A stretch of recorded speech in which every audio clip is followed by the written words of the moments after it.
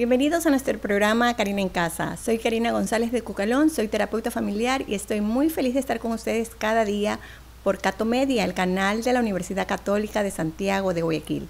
Recuerden, todos podemos hacer de nuestras vidas y familias un pedacito de cielo. Y hoy por ese motivo, hoy por ese motivo, vamos a hablar de un tema que creo que a todos nos apasiona. Siempre estamos pensando en cómo traer abundancia a nuestra vida, cómo traer prosperidad y queremos buscar, encontrar las claves perfectas. Sin embargo, a veces tenemos que saber qué, hay en nuestro subconsciente, qué está ahí almacenado que nos impide poder cambiar nuestra vida, que nos impide cambiar la forma de ver el mundo y también la forma de comportarnos. Todo, todo, absolutamente todo lo que somos está grabado en nuestro subconsciente y podemos reprogramarlo, podemos cambiarlo. Nuestro inconsciente está sellado, nuestro inconsciente está sellado, ahí están todas esas energías, actividades, eh, todo lo que hemos hecho que realmente nos matarían de una sola impresión si tuviéramos acceso a todo eso que está ahí sellado. Por algo Dios lo sella para que no podamos tener ese acceso hasta que la ley lo permite. Entonces, en el subconsciente tenemos todo aquello que somos y todo aquello que vamos a traer. Nuestro consciente es el que está activo, viendo todo lo que está ocurriendo, sintiendo, escuchando, viviéndolo. Y todo lo que estamos haciendo a través de ese consciente va a seguir reforzando al subconsciente o lo va a reprogramar. Y por ese motivo, hoy le voy a hablar de este tema tan importante que es la, las claves de abundancia. Que no solamente es tener dinero, a veces es tener sabiduría, amor, eh, una vida más tranquila, más, eh, más pacífica. Es todo aquello que podamos tener para tener o poder hacer de nuestra vida lo que queremos. Hoy vamos a aprender algunas claves espirituales para magnetizar la abundancia espiritual y material, las cuales he conocido o eh, estudié en diferentes libros que escribió Saint Germain, que escribió Anis Booth, que escribió esta actora prolífera, prolija, Elizabeth Clare Prophet. Y también de muchos autores como Vincent Peale, con el poder del pensamiento positivo, Napoleon Hill, etcétera, etcétera, etcétera. Esto de la abundancia y la prosperidad se tiene que construir. No viene simplemente por arte de magia o porque abro la boca y digo quiero algo y lo voy a conseguir en este momento. Es un proceso que nos lleva a corregir nuestra disciplina, a corregir nuestra forma de comportarnos, a corregir nuestra forma inclusive de pensar y hablar. Bien, entonces hoy vamos a ver que esta abundancia es más allá que el dinero.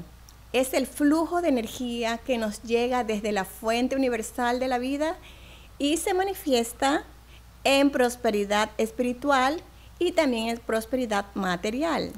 Esta energía debería fluir libremente hacia nosotros cada día y a través de nosotros para poder materializar esa abundancia.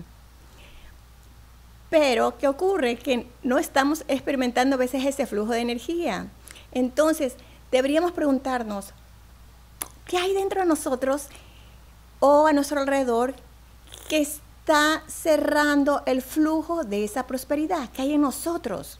¿Qué es lo que está bloqueando en nosotros ese flujo de la energía de Dios hacia nosotros? Eso deberíamos preguntarnos porque simplemente nos quejamos y pensamos que el problema es externo, es del gobierno, es de la familia, es que no hay trabajo, pero quizás hay algo, que es lo más importante, hay algo en, nuestro interior que está bloqueando ese flujo de prosperidad. Entonces, ¿Cuántas veces también usted debería preguntarse, cuántas veces tengo que estar como sufriendo para poder lograr obtener eso que tanto quiero? Hay tantas necesidades diarias, sin embargo, esas necesidades las podemos ir supliendo si confiamos en nosotros mismos y confiamos en aquella experiencia que nos dejaron ciertos maestros. Recuerden que el apóstol Pablo decía yo deseo que tú seas prosperado en todas las cosas y que tengas salud, así como prospera tu alma. Lo estoy leyendo aquí en ese librito. Y también recuerden que Jesús decía que Él ha venido para que tengamos vida y la tengan en abundancia. Entonces, ¿qué ocurre en nosotros que está bloqueando esa verdad universal, esa máxima universal. ¿Qué está ocurriendo en nuestras vidas? ¿Qué está impidiendo que ese flujo de prosperidad se manifieste?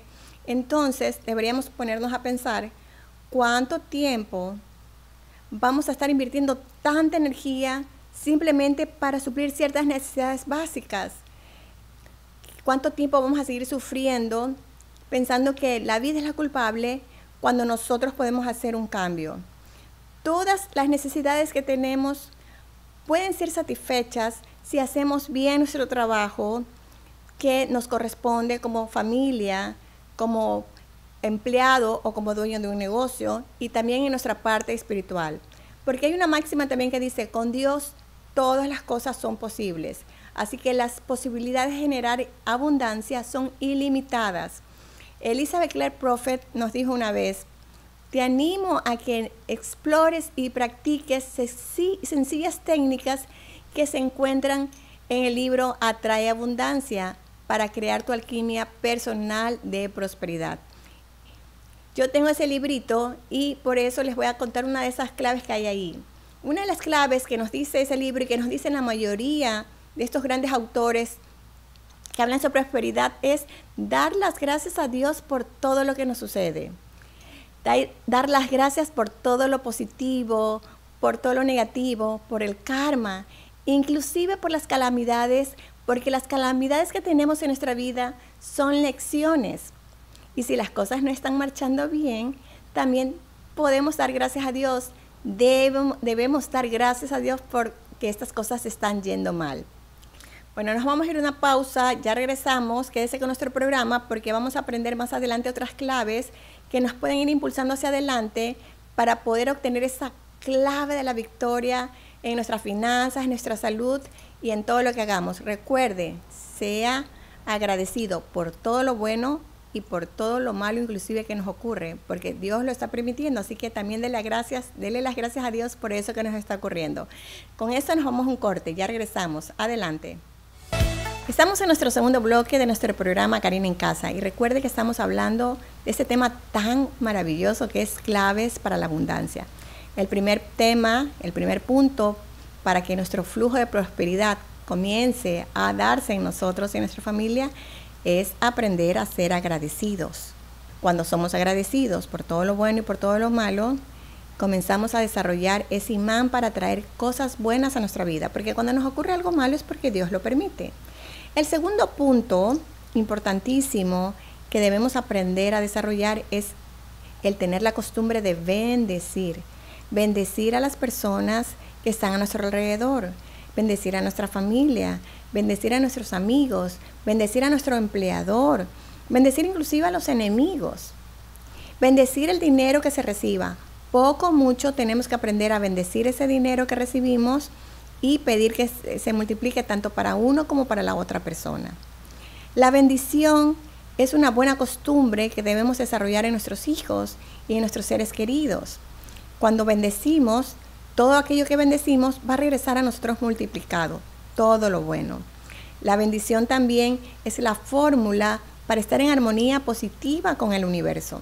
La mayoría de las personas a veces se olvidan de tener esa palabra de bendición en su boca y están constantemente renegando, quejándose, diciendo palabras negativas, eh, viendo todo lo malo que hay en el entorno. Entonces, cuando estamos constantemente hablando de cosas negativas y enfocándonos solo en lo malo que está en el entorno, es una forma de maldecir. La queja constante son maldiciones.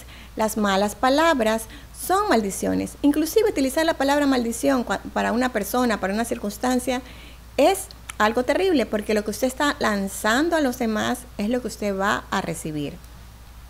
Si no puede, si no puede bendecir a los demás por algún motivo, Simplemente piense, imagine que esa persona está en su vida porque Dios la puso por algún propósito, por algún motivo. Entonces, pregúntele también a Dios, ¿qué es lo bueno que tengo que aprender de esta persona? ¿Por qué está conmigo? ¿Por qué está en mi vida? ¿Por qué forma parte de mi grupo de trabajo o de mi grupo de amigos o del grupo en el cual estoy eh, haciendo alguna actividad? Entonces, cuando usted se pregunta eso y lo hace con un buen corazón y tiene la buena intención de tener una buena relación con todas las personas que están a su alrededor, de buscar esa buena relación, usted va a comenzar a bendecirlos.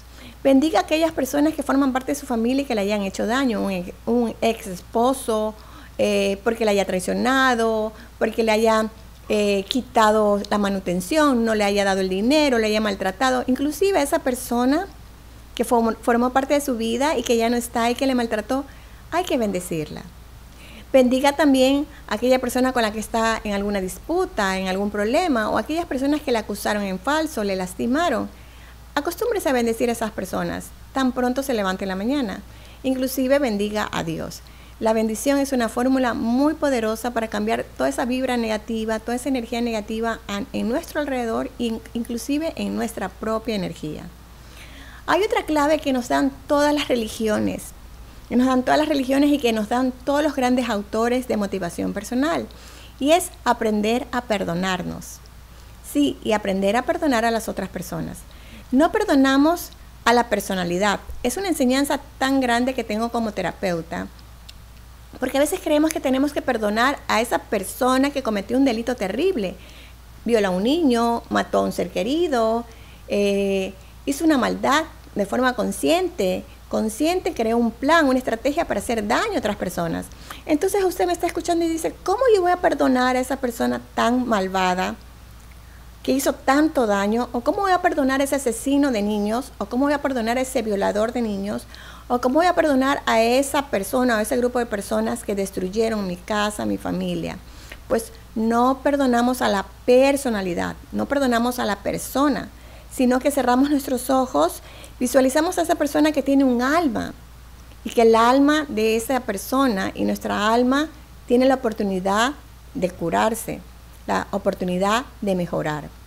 Porque si no perdonamos al alma de esas personas, a las personas que nos hicieron daño y las maldecimos, quedamos conectados, amarrados a esas personas y a esas circunstancias. Entonces, cerramos los ojos, visualizamos a estas personas y decimos, en este día yo perdono a tu alma, perdono a tu alma por todo el daño que me ha hecho o que, que me está haciendo. Te perdono y te pido por favor que no lo vuelvas a hacer más. También usted tiene que, pedirse, que pedir perdón y decir, yo me perdono por eso que te haya hecho de forma consciente e inconsciente. Yo te pido perdón, perdón. Yo te pido perdón por eso que te haya hecho de forma consciente o inconsciente y yo me perdono. Tenemos que aprender a perdonarnos por cualquier error que hayamos cometido. Muchas veces hay dentro de nosotros, dentro de las personas, algo que se llama culpa. La culpabilidad es un gran bloqueo que no permite el flujo de la prosperidad. No permite el flujo de la prosperidad.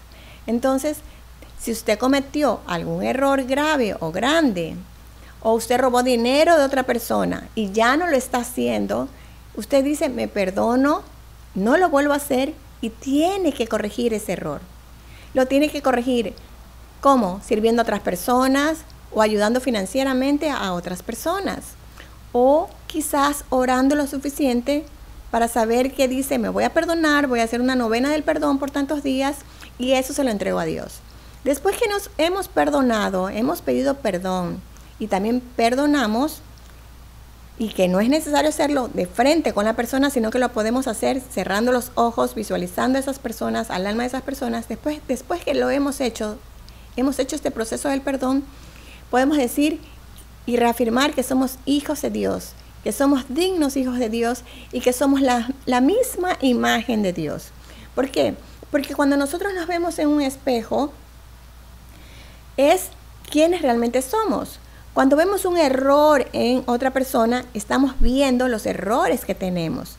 Cuando nosotros estamos viendo algo bueno, un don, un talento en las otras personas, también estamos reconociendo que también tenemos esos talentos o que los podemos desarrollar. Entonces, cuando decimos que somos la misma imagen de Dios y que somos un espejo de Dios, significa que estamos también dispuestos y absorbiendo y desarrollando todos esos buenos dones, talentos, energía que Dios, que Dios nos ha dado porque somos sus hijos.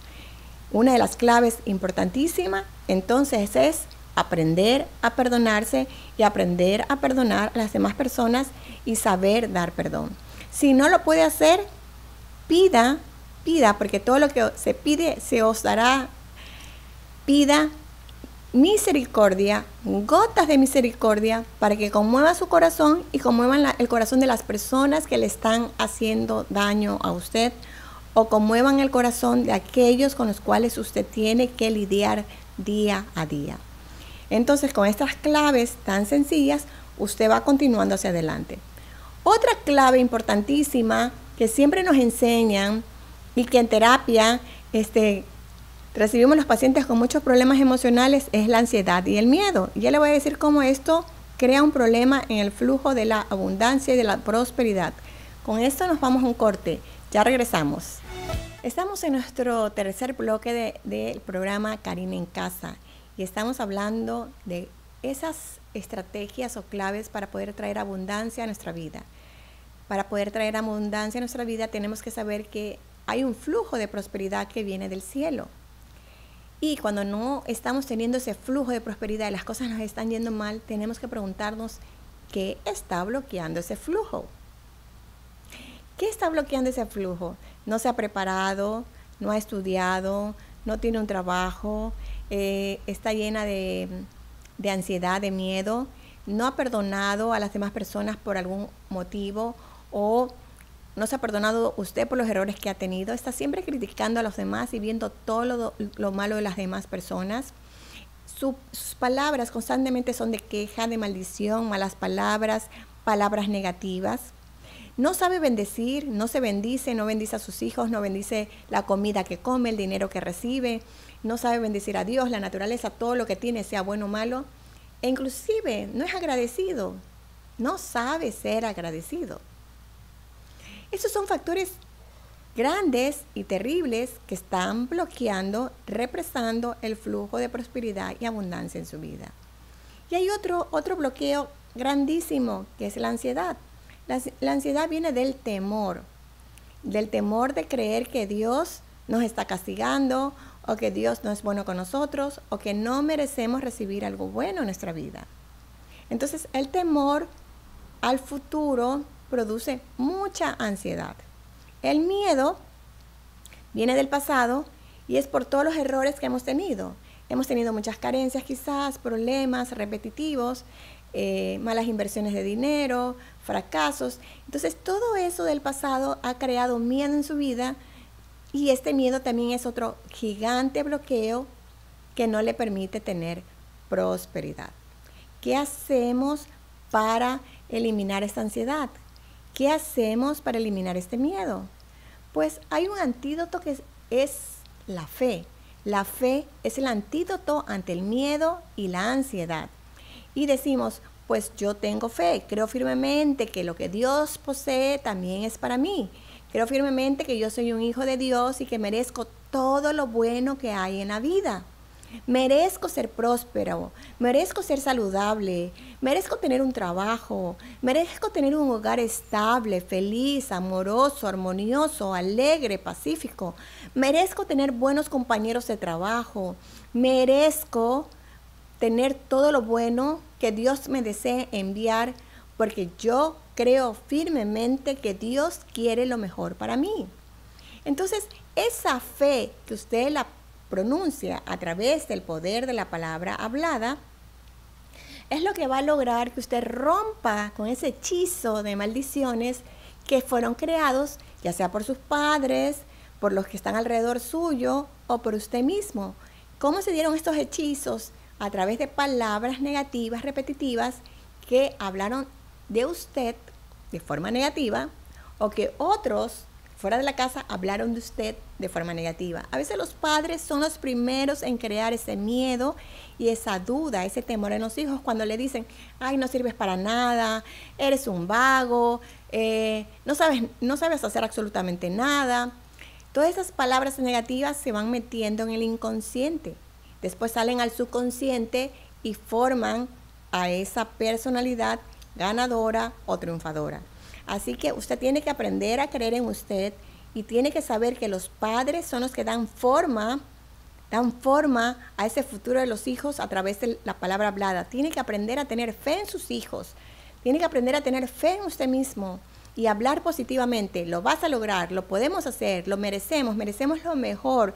Creo firmemente que Dios quiere lo mejor para mí. Creo firmemente que Dios quiere que yo tenga salud, que yo tenga paz, que tenga armonía, que sea exitosa, que sea próspera. Creo que Dios quiere firmemente que yo tenga una vida hermosa y estable. Creo firmemente que Dios quiere que todos estemos progresando. Entonces, si usted repite constantemente estas palabras, se va a llenar de de, una fuerza interior, de una vitalidad interior. Hay otra recomendación que también me encanta, que es el poder de la visualización. Todo lo que puedes visualizar se puede hacer realidad. Una de las técnicas que utilizamos en terapia es la meditación. Cuando hablamos eh, a las personas de este proceso de la meditación, les explicamos, cuando meditamos, evolucionamos. Cuando no meditamos, pensamos. Esto lo dijo Mark Prophet, conocido como el anhelo. Me encanta esa frase. Hay un libro que es especialmente de meditaciones, que, en este libro te va explicando qué tipos de meditaciones uno puede hacer para ir sanando, para ir sanando el interior, para soltar las enfermedades, inclusive para recibir dones. Y en ese libro dice esa frase que a mí me impactó. Cuando meditamos, evolucionamos. Cuando no meditamos, pensamos. Sí, entonces cuando meditamos nos aquietamos, respiramos profundamente y cuando respiramos profundamente nos alcalinizamos. Cuando usted inhala y exhala unas cinco veces, diez veces, usted se va a comenzar a alcalinizar. Y cuando está alcalinizado, su cuerpo está más sano, está más próspero. ¿Por qué? Porque tiene más vitalidad y motivación interna. Entonces, usted empieza a respirar, cierra sus ojos y comienza a meditar en qué? En lo que usted desea, usted comienza a visualizar. La meditación también comprende visualización. Entonces usted comience a visualizar lo bueno que usted desea. Aquíétese, deje de hablar, deje de pensar negativamente, deje de ver las novelas, deje de ver la televisión. Escuche estos programas constructivos y póngalos en práctica. Si tiene un momento libre, diga, ok, tengo un momento libre, me voy a recostar, voy a cerrar los ojos y voy a comenzar a, solamente imaginar todo lo bueno que quiero en mi vida. Disfrútelo, sonría y si lo hace todos los días, seguro va a haber un cambio en el futuro para usted. Otra recomendación importantísima y que es la última es aprender a tener un buen concepto de usted mismo. Aprenda a hablar bien de usted. Aprenda a decir cuáles son sus dones, sus virtudes. No es cuestión de ser egocéntrico, no es cuestión de ser eh, una persona vanidosa. Es cuestión de comenzar a tener un concepto inmaculado de usted.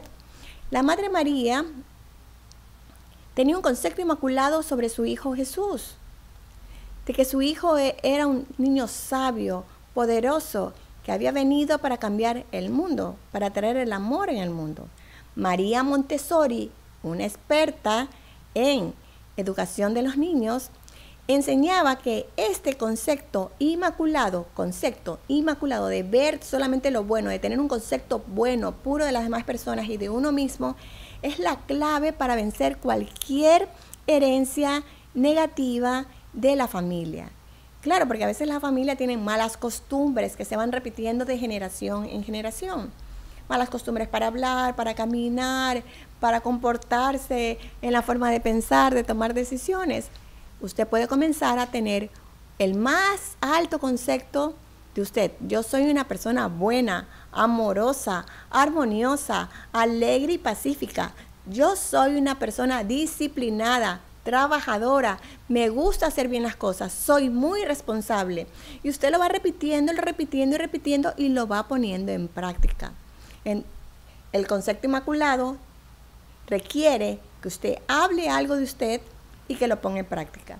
Y por último, una recomendación muy importante y creo que es la última, porque ya no tenemos más tiempo, es el limpiar tu subconsciente. Tú lo creaste Tú creaste esa energía y esos pensamientos y esas costumbres, todo lo que tienes almacenado en tu subconsciente, tú lo creaste, pues tú mismo lo tienes que borrar y reprogramar. La forma de reprogramar nuestro subconsciente es a través de la palabra hablada y a través de poner nuestra atención solamente en cosas buenas, leer información constructiva, beneficiosa para uno y hablar positivamente de uno mismo y de los demás. El subconsciente se reprograma a través del poder de la palabra hablada. Por eso es que en terapia decimos, tiene que repetir esto constantemente, tiene que comenzar a enfocarse en esto constantemente y de esta manera vamos transmutando y reprogramando nuestro subconsciente. Si usted piensa que es un perdedor, pues así va a ser su vida.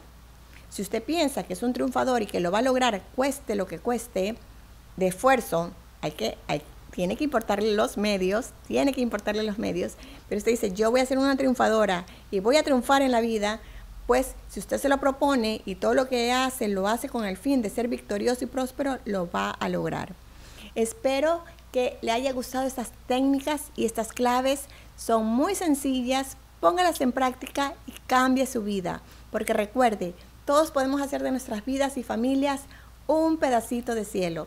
Soy Karina González de Cucalón, soy terapeuta familiar. Nos vemos mañana. Hasta pronto.